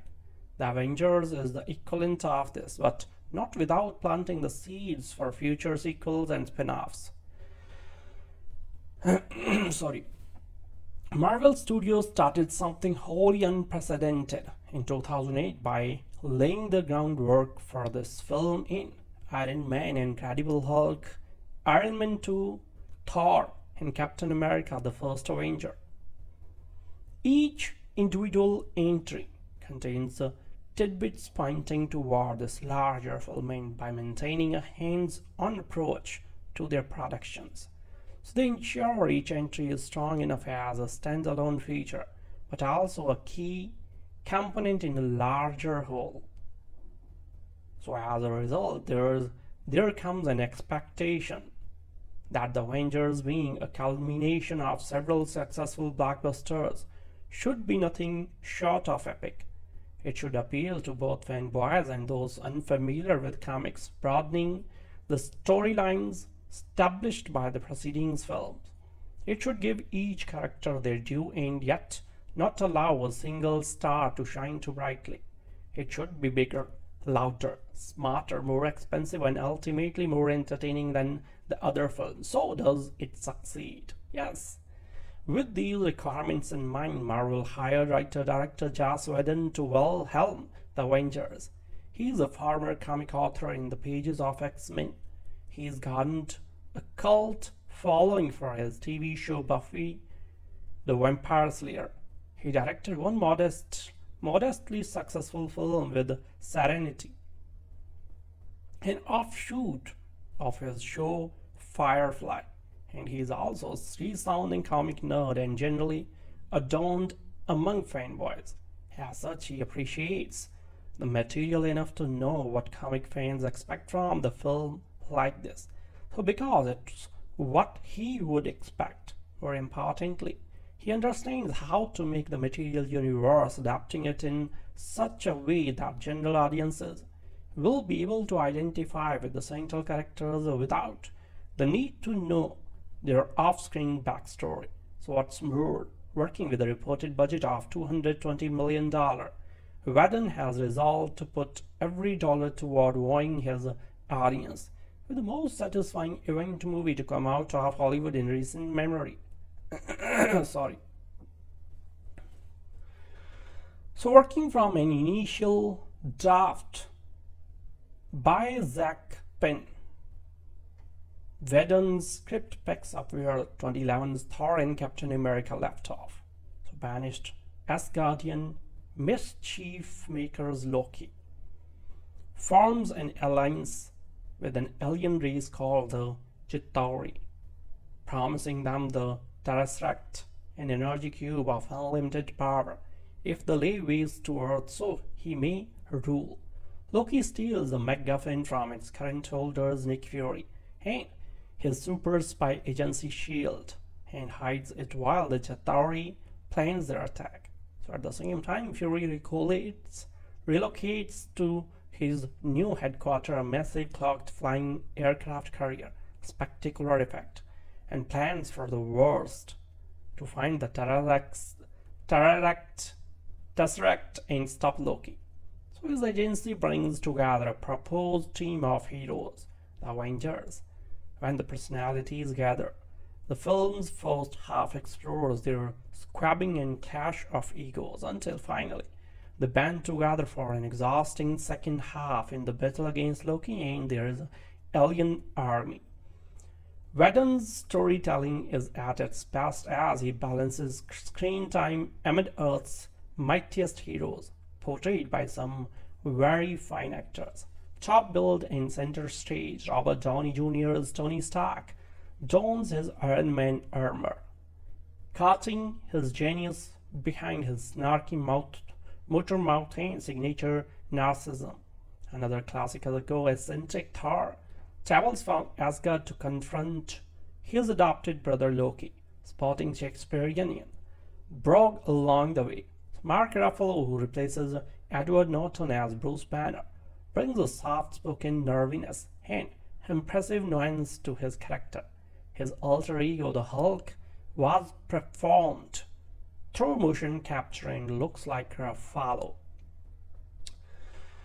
The effect is entirely convincing and occasionally brilliant, displayed in an era not his own. Steve Rogers, aka Captain America, brings a naive but necessary idealism to the team to help reunite, to unite them. Surprising her Iron 2 role, Scarlett Johansson represents the sole female member of the group as a former assassin, Black Widow.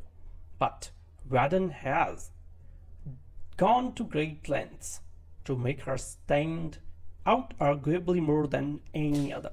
The newest member seen briefly in Thor is a bow and arrow sharpshooter named Hawkeye, who seems somewhat underdeveloped next to the others. So save for the resident captain, each character could be described as does not play well with others. Obvious attention is placed on Marvel's most class successful hero and franchise fan favorite Iron Man, but this is hardly a solo effort. Granted, the film's climax takes place on Manhattan streets surrounding the newly erected Stark Tower, but Stark's dramatic arc feels less significant than those of Banner or Black Widow. In The Incredible Hulk, Banner still struggles to control his green rages. But in the existing finale, his counterpart becomes relatively self-aware. He becomes a hero instead of a monster. Seeing this side of Hulk may be more consumable for audiences who can finally root for a character able to differentiate between good guys and bad guys. Ruffalo, an actor normally associated with indie dramas, admittedly outdoors Norton when his character blossoms, enough for audiences to clamor for another solo Hulk feature with Ruffalo as the star. Likewise, Haunted, he we learn much more about Johansson, Black Widow, and her blood-soaked past. So her best scene is not only a film best but provides the film's most impressive acting. She interrogates Loki, who responds with jaw-droppingly violent and cruel threats, snarled with precision by Hiddleston. The look of terror on Johansson's face is undeniable and they punctuate it with a wonderful turnaround. So with any comic book film, there are always mild to great disappointments in how the filmmakers have adapted characters from the page to the screen. Some are merely nitpicking on the part of fanboys, others are noticeable by anyone. For example, anyone could tell to many villains clogged up Spider-Man 3, whereas no one outside of a comic book shop cared about Galactus was rendered into a cloud thing in Fantastic Four 2. Here, fanboys can delight in how much Whedon gets right, but in addition to not exploring Hawkeye enough. So Whedon's choice to provide our heroes with a high body count while anonymous Chitauri aliens is questionable. So granted his story infuses elements of the Avengers issue number 1 from 1963 in which Loki manipulates Hulk into a frenzy and in turn unites the Avengers. But in the last half, Whedon's focus remains on Loki orchestrating a war of Chitauri pawns. Of course, this decision makes an effective storytelling device by allowing the Avengers' first assembly to be about an ideal gathering of heroes more than the disposable villains. Still, the comic nerd in me wanted a more recognizable crowd of baddies for our heroes to clobber. However, negligible or disappointment Whedon's choice of alien race may be. He makes up for it in his arrangement of stunning battle sequences, superhero smackdowns, and most importantly, a riotous sense of humor. Early on, Iron Man and Thor go head to head, followed by the two powerhouse characters, Thor and Hulk, throwing each other around. Sorry. Likewise, Stark's quick-witted zingers, a Cap's dislocation in another century, furnish no end of laughs in Whedon's usual brand of smart, punchy dialogue. So these conflicts and joking moments are mostly for comic effects, but they also illustrate how non-cohesive these characters seem and pace next to one another and how they require wrangling to become a team shield agent Coulson. A nice guy character presence in this ongoing franchise is since Iron Man serves as superhero glue in a subplot both funny and tender. It's Stark struck by Captain America and wants only for the captain to sign his vintage superhero trading card set. As Whedon injects copious amount of humor into the proceedings, he plays with these characters' dynamic and personal limitations in a self-aware style but without risking the integrity of the characters themselves, rather he enhances them. So when it's all over, only one question remains. How will audiences react to solo stories for characters like Iron Man, Thor, Captain America, and the Hulk in the future. A film as grandiose as Avengers threatens to dwarf anything placed next to it. So want next year's Iron Man 3 and Thor to seem underwhelming in comparison. Could Marvel have unwittingly undone their smaller franchises by making too good a film here? My hope is that as long as Marvel continues to distribute the kind of quality superhero films we have come to expect since Iron Man, faithful audiences will return for the next building block, not only in the individual stories but in anticipation of the inevitable sequel to this giant-sized crossover. Marvel should take care and make the best films they can in the coming years yeah, the risk turning the in-between movies into nothing more than the next building block to the Avengers. So that's it. You won't likely find a more rousing, purely entertaining popcorn munching blockbuster this summer. No spectacle on par with this film has arrived in theaters since Avatar, and at the similarly long 142 minutes the film breezes by. On these levels and the plane of sheer superhero movie joy, The Avengers delivers in every aspect. So it's not a flawless film, but its modest flaws are washed away by its incomparable heights of showmanship that has yet to be matched in this genre. While Christopher Nolan's Batman films elevated the superhero film by achieving an unparalleled dramatic and artistic timbre, Marvel's decidedly more comic booky endeavors find their pinnacle in the Avengers. So just as it should, the film outgoes what have now become its five prequels. So after four years worth of building piece by piece against mounting expectations, Marvel and Whedon have managed to satisfy the majority of fan expectations and in some ways even exceeded them. So how does one pose a threat to a demigod, a super soldier, a man in an indestructible metal suit, and a hulking green juggernaut. Well, it can't really be done, but with a surplus of loud explosions, massive battles, and limitless CG effects, the right amount of adventure to appease fans of such monumental clashes between good and evil can be fiend. The Avengers keeps the concepts simple enough, but piles on so much mayhem, it can become wearisome to those not previously invested in its subject and willing to really believe in the delirious events transpiring on screen. Viewers not cheering by the time the gang of superheroes take down a giant mechanical space worm probably knew a long time ago this movie wasn't for them as Nick Fury and the agents of the secret military agency SHIELD attempt to harness the power of the extraterrestrial energy source known as the Tesseract. The villainous exiled demigod Loki uh, returns to Earth to steal it. Along with the cube, Loki brainwashes and kidnaps assassin Clint Barton and scientist Erik Selvig to aid in his devious plot to conquer all of humanity to combat this new threat, Fury reinstitutes his scrapped Avengers initiative and sets about gathering together the world's greatest heroes Iron Man, Captain America, the Hulk, Thor, and the Black Widow.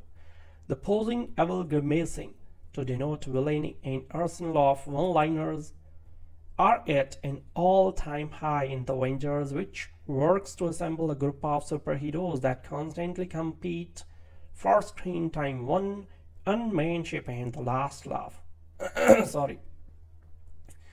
The humor is actually overdone, poking fun at all of the characters and situations to the point that audiences will probably question with absurdities they should be taking seriously, and that's detrimental in a film overflowing with fantastical silliness both visually and from dialogue. It's bad enough that despite gods and alien worlds, extremely advanced technology is still unbelievable, and that jargon like gamma signature, thermonuclear quantum fusion, and cognitive recalibration sounds so ridiculously forced for the sake of convincing viewers that the Avengers instruments are beyond general comprehension. Although it's not quite a sequel, it still only feels appropriate to measure it up for the films like The Transformer 3, Fantastic Four, Rise of the Silver Surfer, Iron Man 2, Superman Returns, and the like. So it's not as mind-numbingly nonsensical as a few of the aforementioned titles, but it doesn't look or feel original. And the abundance of special effects and the overwhelming destruction create non-stop spectacle without substance. Never once is there any real peril that is made upsettingly apparent with the illusion of non-superheroes Black Widow and Hawkeye, who are just too drastically inferior to go up against global catastrophes initiated by intergalactic alien war gods, with a complete lack of definition for the various superpowers exhibited by the antagonists and protagonists alike. Their massive demolition of Manhattan and battling one another for the little of toughest superhero means very little. They might as well all be invincible. No villain is formidable enough and no force threatening enough for these cartoonish CG inundated extravagances to be sympathetic.